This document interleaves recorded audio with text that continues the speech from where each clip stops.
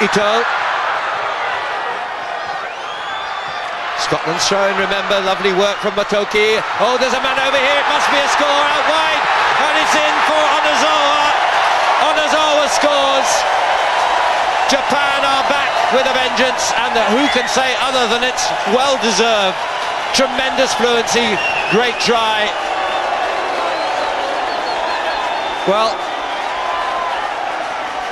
I get the feeling it hasn't actually been awarded yet, but it seemed a perfectly good try to me. I think they've called for the television decision on it. Stuart Dickinson stands there. Yes, I think he's just asking to check the grounding of it. Oh yes, oh yes, down with pressure, if not from the arm, from the from the chest.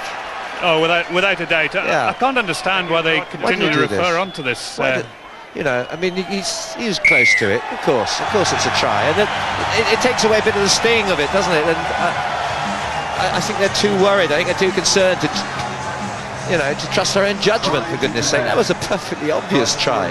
Anyway, it's there. It's well deserved. It's 15-11, and that now is, uh, well, a time of considerable concern. And Japan have certainly deserved it. They've come out storming second half start. 15 minutes played. And they've just used the, the width of the field here. Very straightforward, a little run around by Andrew Miller. But they kept the width. Good hands. I've seen this guy on the uh, IRB 7 circuit. He scored also a superb debut try against Wales